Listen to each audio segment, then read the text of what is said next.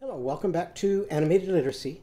This is lesson number 62 from the Story Song and Action book. In this lesson, in a few moments, we're going to be learning about a new character named Winkie Walrus, and so we'll learn his story and his song and his gesture, his sound, and his letter. Before we do that, we're going to do a bit of review. Our last character we learned about was Eve, and this is Leaping Eve. And Eve gets very impatient on her long walk to school each day, and she doesn't like having to go all the way around baseball fields and, and find a bridge to get across a stream and look for green lights and wait for, for those so that she can cross busy streets. So she wishes that she were like Wonder Woman and Superman and she could just leap over the top of the streams and the, and the streets and the baseball fields instead of having to wait. So if you remember her story, what happened in her dream? While she was dreaming, she pretended like she was Wonder Woman and she believed she was Wonder Woman and she leaped over the baseball fields and the streams and the city streets and got to school early so she had lots of time to play and read. Then when she woke up, she decided to try her new skill and she leaped over three green trees. But how big were the trees? Only about three inches high. So for Eve, we make our three trees like this Take our other hand, put it on our knee, and we leap from one knee to the other. And while we're leaping, we make her squeaky E sound and go E up over the top. And if you can make it go way up into a high pitched squeaky sound, do that. I'm sure you can go way up more than I can. And we also learned that most of the characters we're going to be learning from now on cannot spell their sound with just a single letter because we've almost run out of letters. So they have to use a pattern of two or more letters for their sound. So Eve, most of the time, spells her sound either with two E's or with an E and an A. Once in a while, she uses an I and an E, and at the end of a word, she often uses just one letter Y to spell her sound. So to learn how we can use those letter patterns, we drew some pictures and labeled them. So we drew a picture of a Jeep, a bee, and a tree, and cheese that all use two E's for, to spell Eve's sound. Then for her EA pattern, we drew a picture of a leaf and a seal. For her IE pattern, we drew a picture of a baseball field. And for the Y at the end of the word, we changed our word pup into puppy by adding another P and a Y to the end so that we can call it a puppy dog instead of just a pup. So let's do a little bit of playing with Eve's sound. Here we have a squash, and squash has the vowel sound of ah in the middle. But if we change that to e in the middle, what's our squash going to become? Squeesh. You try that. Squeesh. And if we have a banana with three syllables, banana, and we change it to all of those syllables to Eve sound, what's the banana going to be? Be knee knee. Again, ready? Say it with me. Be knee knee. And if we put squ squeesh and be knee knee into apples and bananas, how's it going to sing? Ready? Eve likes to eat, eat, eat, squeesh and beanie knees. Say it, sing it with me. Eve likes to eat, eat, eat, squeesh, and beanie knees. Here I have a plum, and plum has uh in the middle for its vowel sound, but if we change it to E, it's no longer a plum. What is it going to be? See if you can say it before me. Pleam. And here I have a tomato with like banana has three syllables, tomato. But if we change all of those syllables to E, what's it going to be? T, me, T. Let me try it. T, me, T. And if we put that into apples and bananas, how's it going to sing? Eve likes to eat, eat, eat, pleams and teamy teas. Eve likes to eat, eat, eat, pleams and teamy teas. All right. Well, from our very first lesson, We've talked about if you're going to understand and remember what's being taught, you have to glue the new information that I'm teaching you to the old information that's already stored inside your head. So we're going to start by talking about some things so you can talk with your parent or your teacher um, about waffles. Waffles are going to be in our story. And if you like waffles and when you might eat waffles and, and what you like to have maybe on top of your waffles, we're also going to be talking about walnuts. And here's a walnut in a shell. And here's what the walnut looks like when you take it out of its shell. So maybe you like to eat walnuts. We're going to talk about worms. Now, do you like to eat worms? Probably not real worms, but maybe if you have gummy worms like these, then you might like to eat worms. But which would be healthier? Eating watermelons and walnuts or eating gummy worms? So we can talk about nutrition. Um, we're also going to be talking about what you might put on top of things. And here's a can of whipped cream. And here's the whipped cream on top of some strawberries. So maybe you like to put whipped cream on some of the things that you like to eat. And because our character this time is a walrus, we're going to be talking some about walruses. And I really have a good time getting ready for these lessons because I get to learn a lot of information by reading and looking up information about the topics that we're go are going to be in our story. So here's some things I learned about walruses. And here's a couple pictures of walruses. And they live way up in the north where it's really, really cold. And they spend a lot of their time either in the water or resting on ice.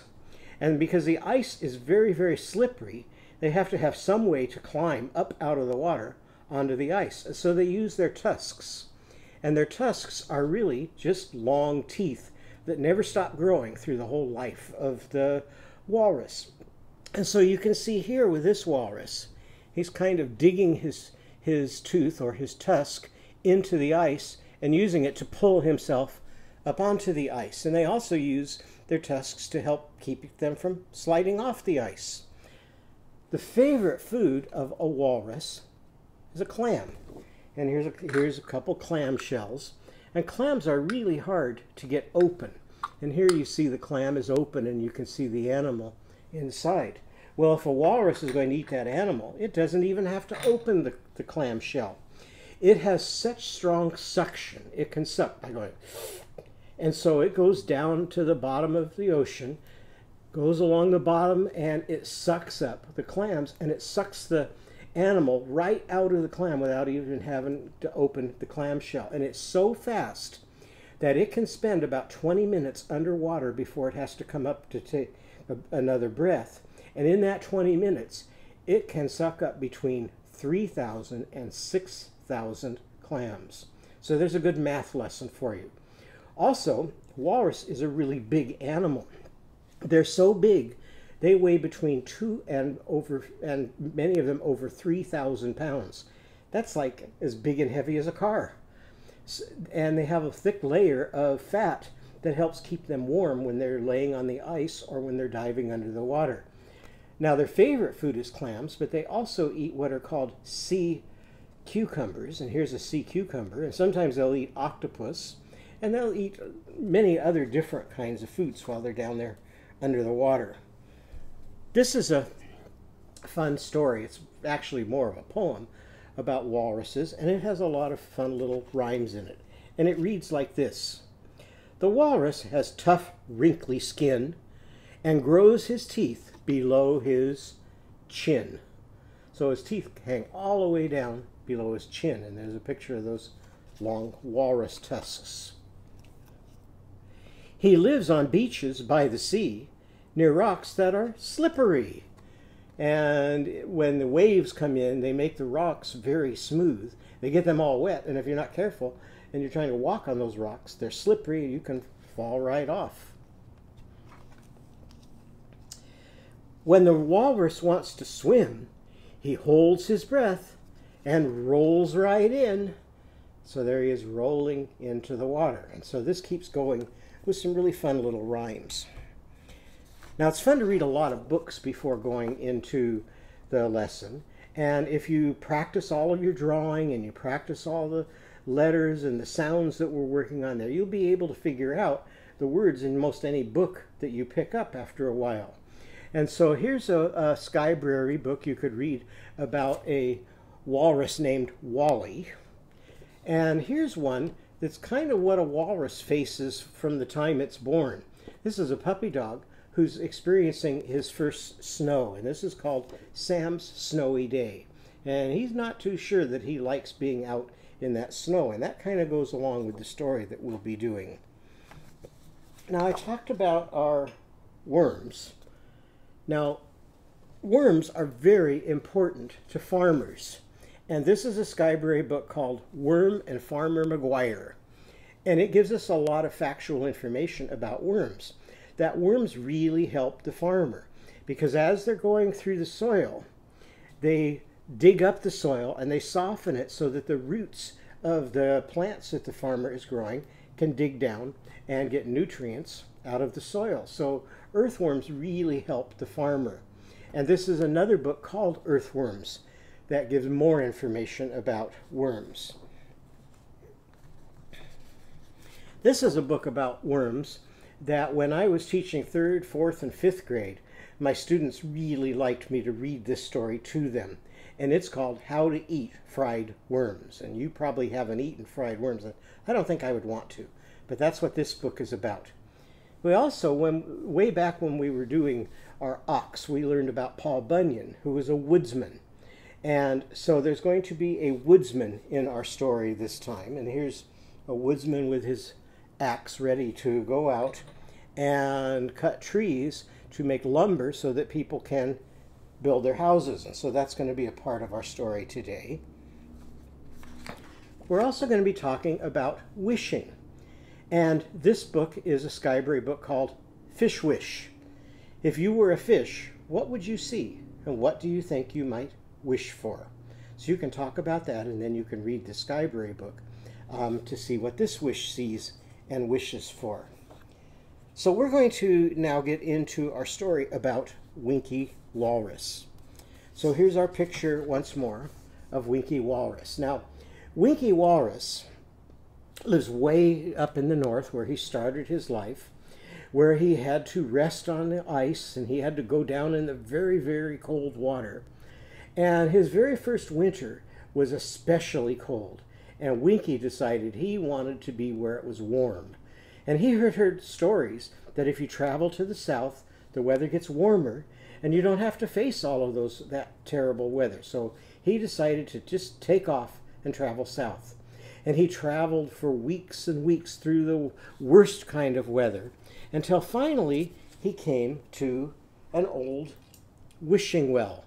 And as he went up to that wishing well, he turned the crank pulled the bucket up with the water and he began to wash his whiskers. And as he was washing in the wishing well, he was wishing for some clams, but there's no really no clams in the forest where he was. But there are wiggly worms, so he was wishing for some worms. Well, as he was there, this woodsman came up, and he saw how weak and weary Winkie Walrus was. So the woodsman decided that he would feed Winkie. So first, he gave Winkie some watermelon, and Winkie thought, oh, that's pretty good. Then he took out some waffles, and he not only gave him a waffle, but he even put some whipped cream on top of the waffle. And Winkie thought, wow, that waffle with whipped cream, that's pretty good stuff. Then he gave him some walnuts to eat, and Winkie enjoyed the walnuts.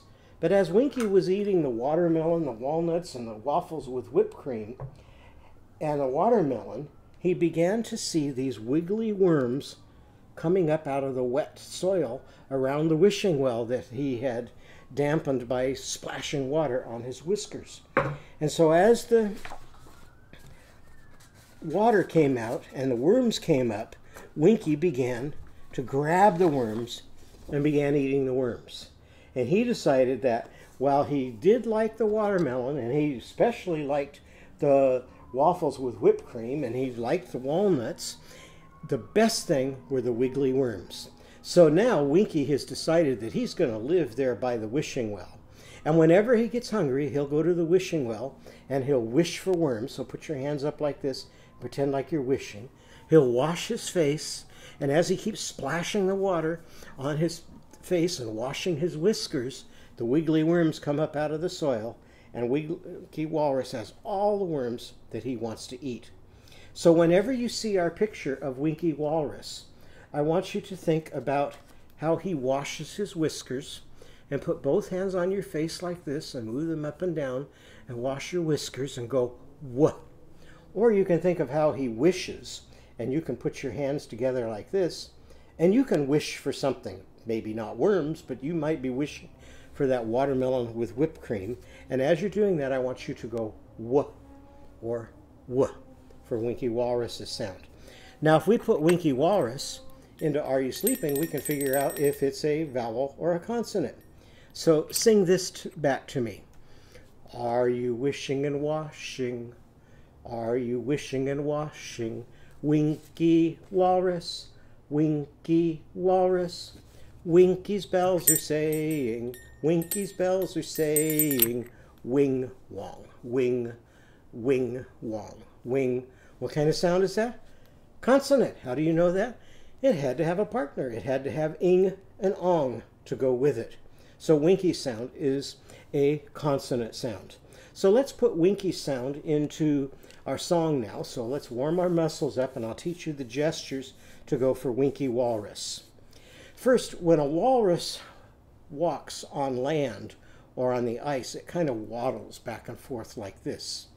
So pretend to waddle, and then we're going to make a well by putting our hands around like this to make that big round shape of the wishing well. Okay, so sing this back to me. Winkie waddled to the well. Winkie waddled to the well. Then you're going to show me wish, wash, wish, wash. Sing that back. Wish, wash, wish, wash. Now show me wishing again, and then you're going to show me wiggly worms like this. Winkie walrus wished for worms. Winkie walrus wished for worms. Now show me how wiggly they are. Wonderful wiggly worms. Now we need to make Winkie Walrus's W letter. So for that, we can put three fingers up like this, and it kind of looks like a W. W's for Winkie. Now you can show me his whiskers like this, or you could show me his tusks hanging down like this. So you can either show me a walrus with whiskers wiggling or with tusks, okay? W's for Winkie. W's for Winkie. Now show me your worms again. And for the wiggly worms. And for the wiggly worms. Now show me washing. Winkie washed his whiskers. Winkie washed his whiskers. And wished for worms. And wished for worms. Wonderful wiggly worms. Okay, let's try that again. Ready? Sing it after me. Winkie waddled to the well. Winkie waddled to the well. Wish wash, wish wash. Winkie walrus wished for worms. Winkie walrus wished for worms. Wonderful wiggly worms. Wonderful wiggly worms. Show me your W. W's for Winkie, W's for Winkie, and for the wiggly worms, and for the wiggly worms. Winkie washed his whiskers, Winkie washed his whiskers, and wished for worms, and wished for worms, wonderful wiggly worms at the wooden wishing wells. I did that last one wrong.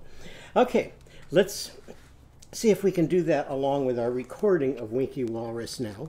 So start out by showing me how you waddle. Ready? Winkie. Here we go. Ready? Winkie waddles to the well. Wish wash, wish wash. Winkie Walrus wished for worms, wonderful wiggly worms.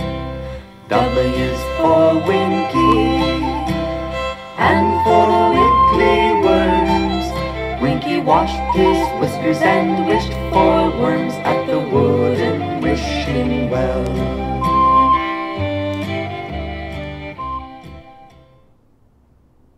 Okay, what's our what's our sound for Winkie Walrus? Wah, or wah, or you can go wah, and do, do both wishing and washing. So here's Winkie Walrus's picture. And so after you do your rainbow writing on the front of your page, I want you to turn it over on the back and think of some things from your life that go along with Winkie Walrus's story. So maybe you want to tell me about some, of whether you like to eat watermelon or you like waffles with whipped cream, or maybe you like eating walnuts, or maybe you like gummy bears with with um, that Winkie Walrus ate, or maybe you like to go to the woods, or if you came to a wishing well, and you threw a coin into the wishing well, what is something that you might wish for? Or you could tell me things that you can remember or that you know about a walrus on the back of your page. So draw a picture on the back of your page and either write a sentence or a story or wait for your teacher or your parent to come and write it for you and then you can rainbow right over the top of that. And then in our next lesson we're going to be drawing a picture of a wishing well and there's a sentence here that you can do to go along with the wishing well and the sentence reads Winkie is by the well. So we'll be working with that in our next lesson. So I hope you enjoyed our story about Winkie Walrus. And I'll look forward to seeing you in our next lesson when we'll get to draw and label some things that use Winkie Walrus's sound. So hope to see you then.